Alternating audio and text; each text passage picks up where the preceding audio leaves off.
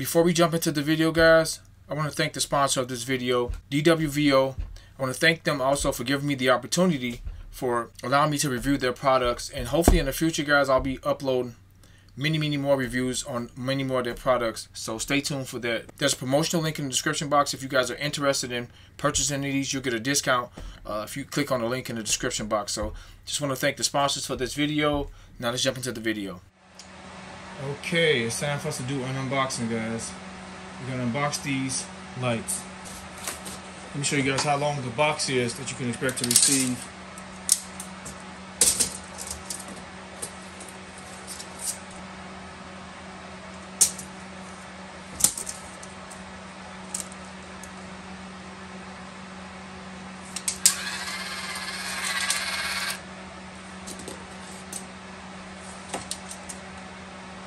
Nine inches tall.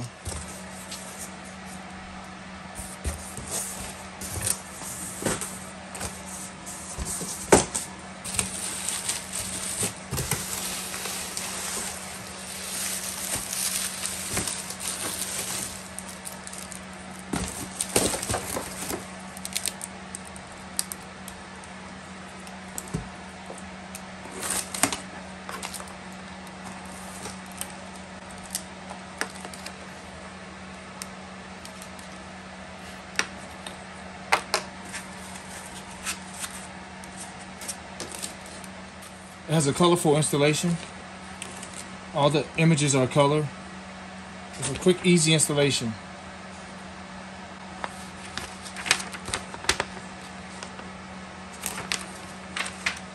These static gloves, they feel like anti-static gloves.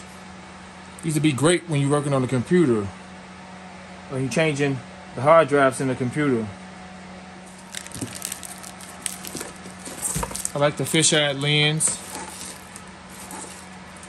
standard. Man, this looks really nice. It doesn't it doesn't look cheap. It doesn't feel cheap.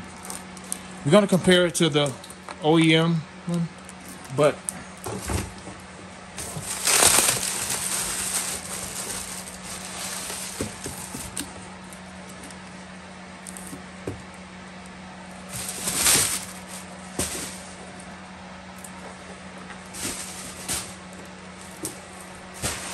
My gripe is the pack in here. There's nothing here. Besides an extra cardboard. So the face of this lens faces down. It seats in there like so. And you can risk cracking it.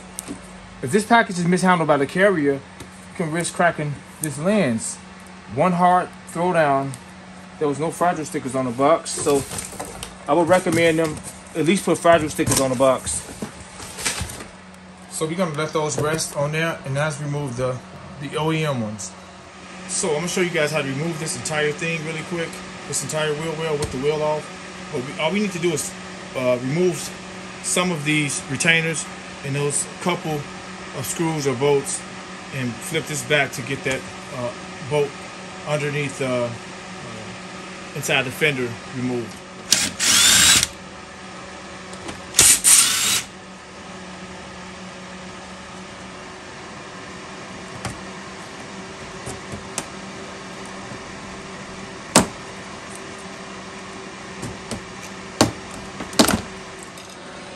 Okay, now that we're in here, I'll put a 10 millimeter wrench or a socket on here. Just loosen a little bit. That's it. Just loosen that bolt a little bit so we can uh, pull that light out. My wire's broke anyway.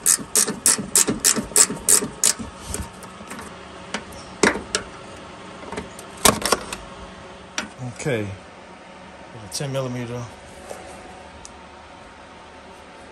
remove this one, 10 millimeter.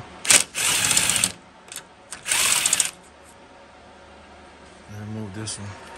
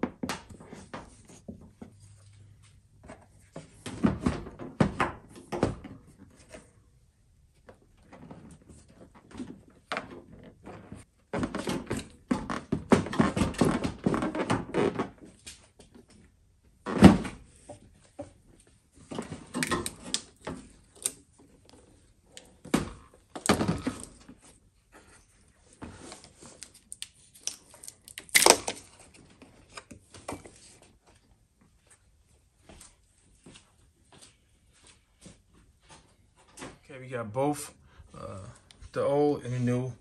Want to make a disclaimer and disclosure. Whenever I'm working on something, I'm very meticulous on how I do things and how I work. If you subscribe to my channel, you would know that. If not, um, just want to kind of make that clear. This was broken. All these tabs were broken. Just got this vehicle about a, uh, a month and a half ago now, and I've well almost two months, and I've done so much to it. Somebody didn't care, didn't take care of it all.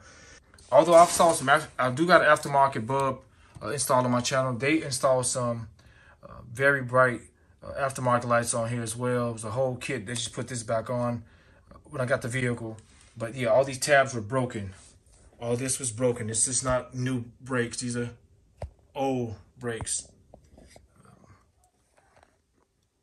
So the other one probably is going to be the same way too. And there's been some damage to the front of that vehicle. Uh, I said, nobody, somebody, whoever owned that truck just didn't care just didn't care. I needed brakes really bad, a whole bunch of more things. And I've remedied most of it on my channel, but just wanted to note that me just pulling this out didn't affect, I didn't scratch the bumper up. Uh, I didn't do any no harm to this headlight assembly. But what we are gonna do is transfer the harness, complete harness, over to this. Start removing that. All this stuff out of our way. These stickers off. Got these little tabs on them, so you can just pull up on these tabs and uh, peel back uh, these stickers. These are stickers. They peel back. They keep the lens, the inside of the lens from getting dirty, so I kind of think that's cool. So we're gonna transfer the harness uh, onto here. And if you look at this, this clip should be here,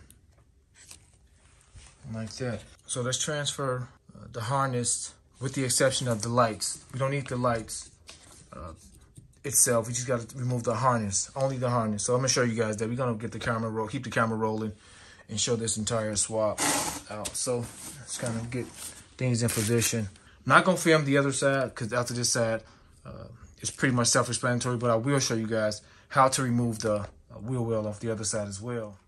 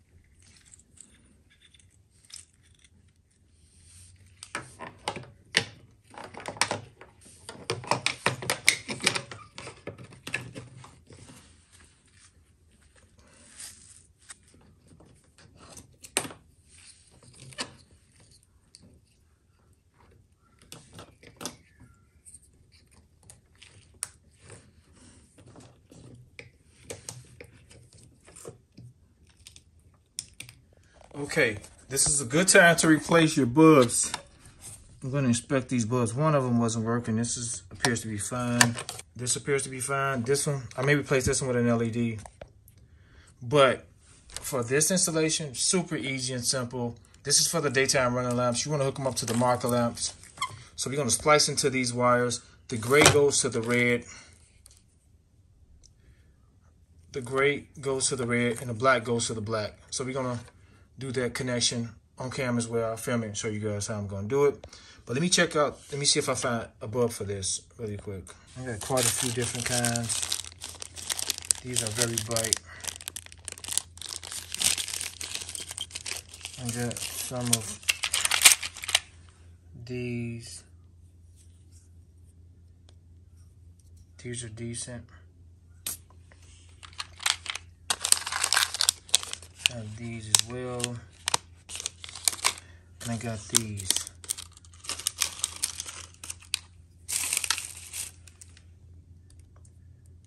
So I may just go with oh, the white one. These are pretty bright. I may just go with this one. Another thing, when you remove these bulbs and you install a new one, it may not work. You have to put them in a direction it comes out. You can see the metal me set this down. the metal prong is on this side. So to go back in that way. Uh, but we're gonna install this one.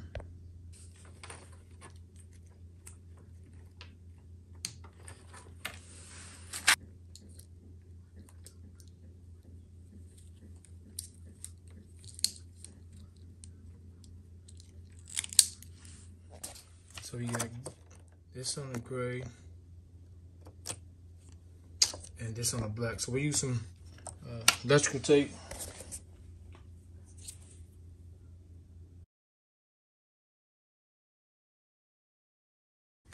The books are they're on the housing H11 9005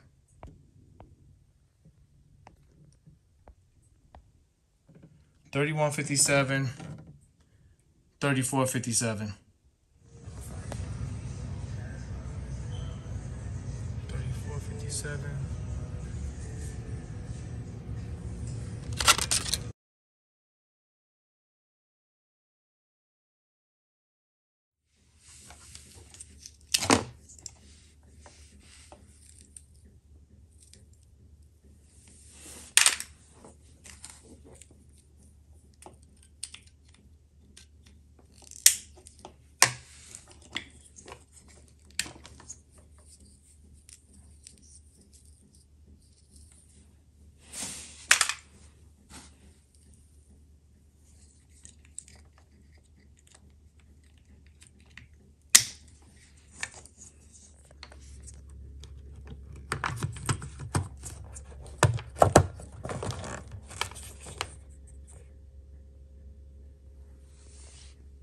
With this one, it won't seat in here, guys. Look at that.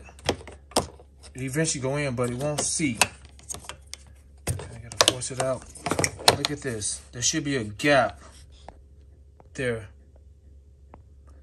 in these headlight assemblies. I removed the adhesive from the other one as well.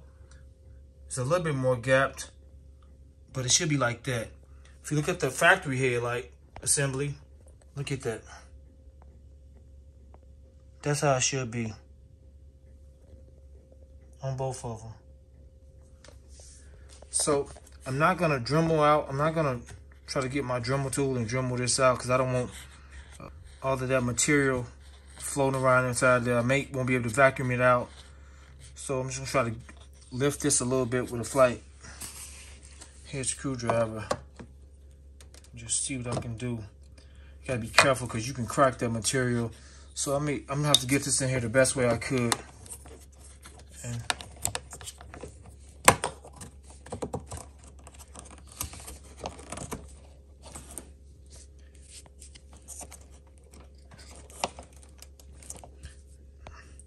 So it's caught, but it's not locked all the way in. I'm gonna have to put something around here to keep the moisture from out of here.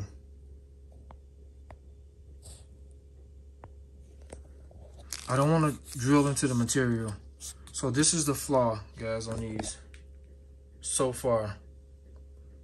We're going to plug up everything and check for... Uh, I'll put some around here, though. show you guys. I'll put some around here in a second.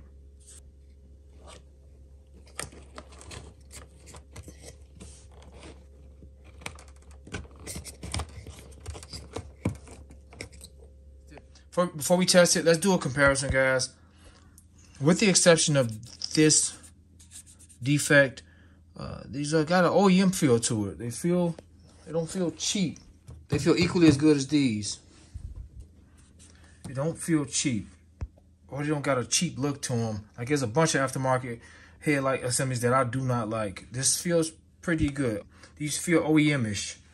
If you look at this, it's um, pretty much the same. It's made out of, of course, this is a better made product, but it's not that far off. It's not that far off. So uh, let's do a test real quick. Let's plug them in and get a test, but let's do a comparison of the outer lens with this outer lens. Just do a side by side and see uh, how they look.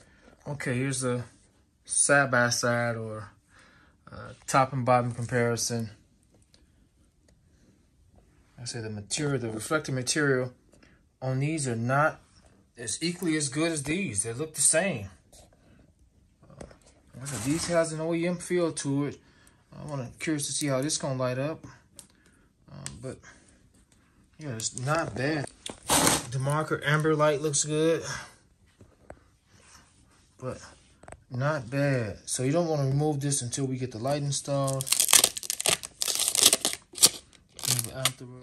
So I put some tape around for right now. I'd rather do this for now than to start uh, trying to drill some of that plastic off to get this to seat in here perfectly. Obviously, it doesn't have the height, so you drill off and. Here goes a prime example. I don't want to crack none of that material. So I'd rather it seat in like this, but um, this one should be fine. We, we may we make it get this one to work perfectly. But let's plug me in. See if it's worth it. I'll put a of glue right here to hold this in place. Some silicone or something.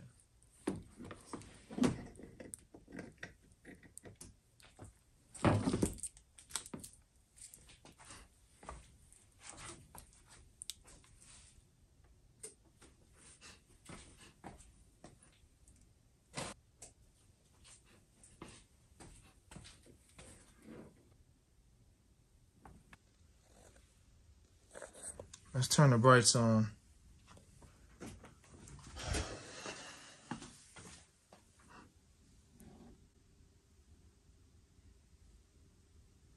I'm not sure what's going on in here, but uh, high beams are not working. It's plugged up perfectly. My high beams work fine. On the old ones, these work fine. All right, when I went to reinstall the light, the headlight assembly.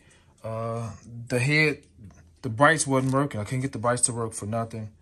And I tested the wires. I tested my multimeter, and I'm not getting power. The green wire here runs the high beams.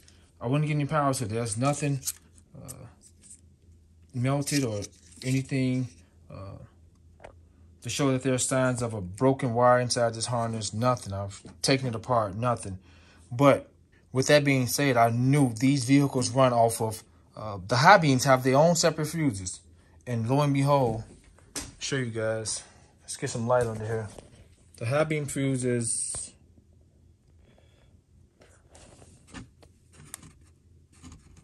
That's uh, for the right side, number 29, the left side, 31.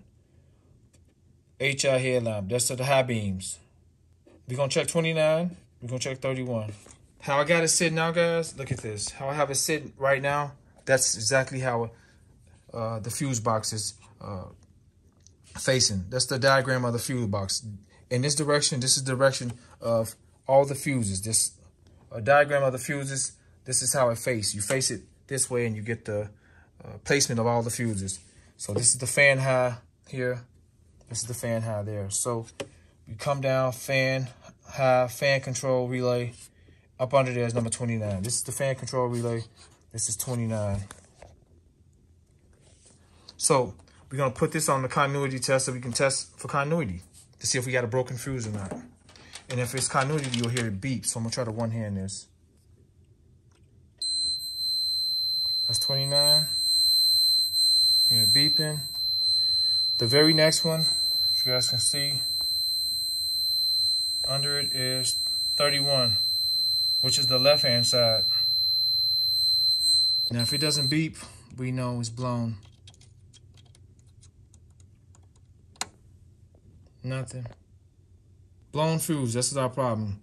So let's replace that fuse. We're gonna use Smart Glow fuse. So this fuse will light up 10 amp. You wanna go with a 10 amp. Don't go over, above a 10 amp. This fuse lights up when it blow. I'm not sure why the fuse blew. Hopefully, um, uh, there's no problem with anything. Maybe uh, it happened when I unplugged it. I hope everything's okay. We're gonna monitor that though, but we're putting this smart fluids in it. It glows when it blows. Got these long needle nose. Hope everything's okay. So, uh, let's install the headlight, guys.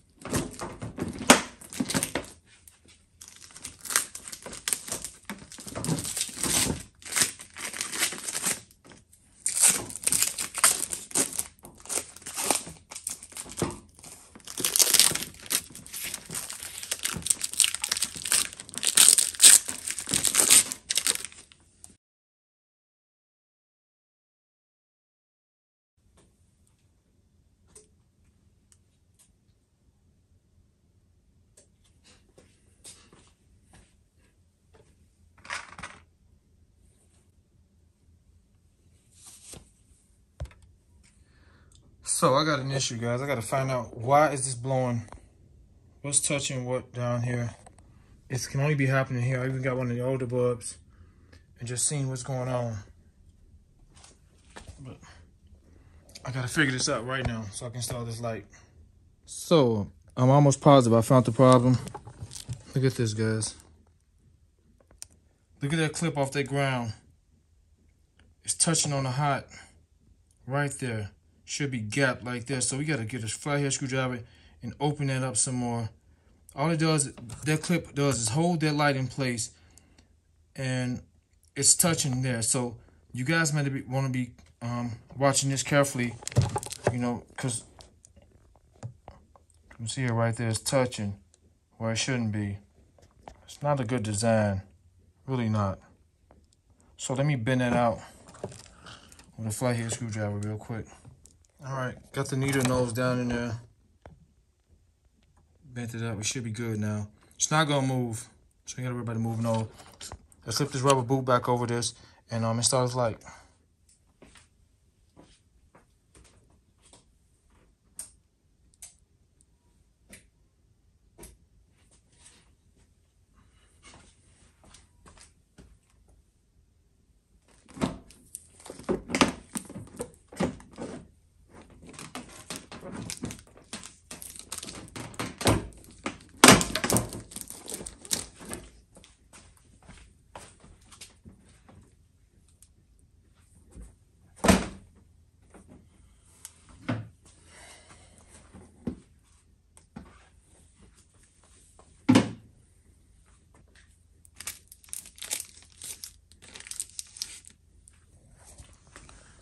So you want to make sure those guide pins or guide posts light up in those holes. Top. There's some bottoms there, the bottom right there. And make sure goes onto your screw like that. I put that wax on to protect everything. Let's finish putting this putting this together.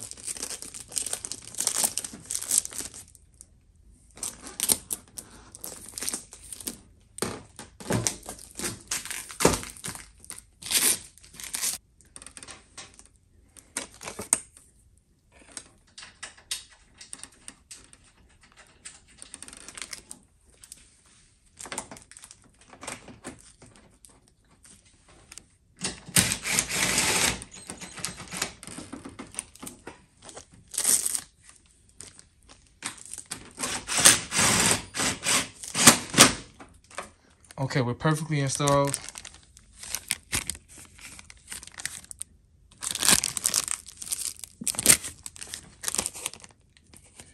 The scratch has been there.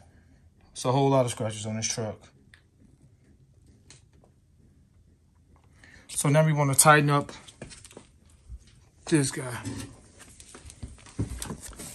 So now let's get in here and tighten up that. So here we are on the passenger side. I got the entire wheel uh, cover removed, removed. Just got through doing a lot of work on here. Total tune up. That's on the channel. But here's the boat and the housing appears to be intact on this side. So uh, I'll show you guys a clip. I'll put a clip in there how to remove this entire thing or partially remove it with the wheel off.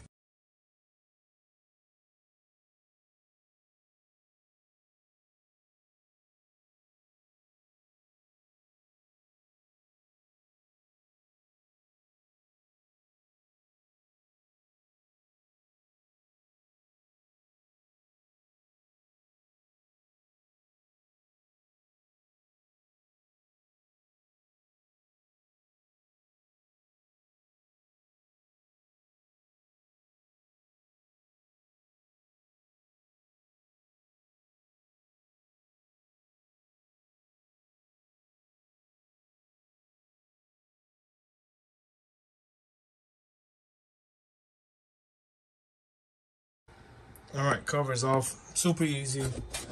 I use the trim tool to remove the, this harness from off of here.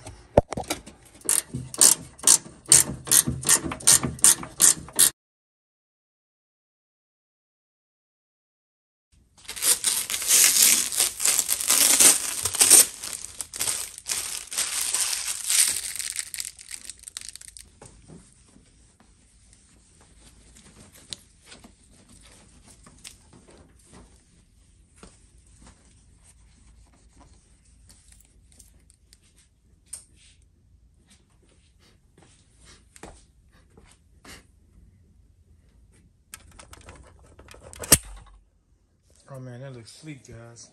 That looks real sleek. Can't wait, you guys. The camera don't do it justice. We're gonna take a look at it outside. Other side is done as well.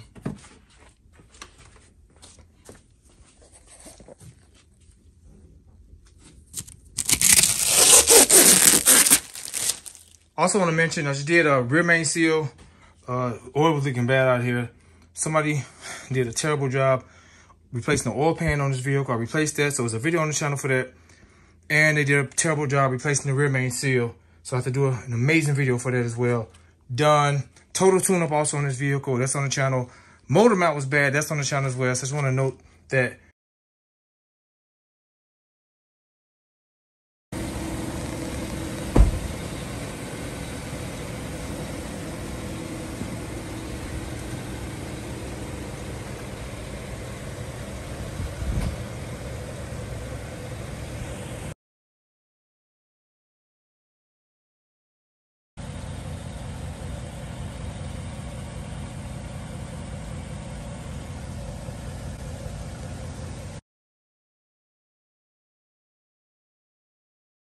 Okay guys, here's a look at it in the garage driveway on.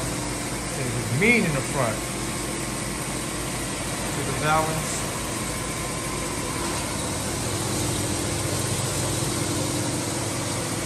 Just did a video on the valance, how to install it. Man, this thing aggressive. It looks like the newer ones. That's in front of this G in uh, 2015 to 2020 kind of got their resemblance with the lights. They kind of uh, give me that feel of the next gen. That's good.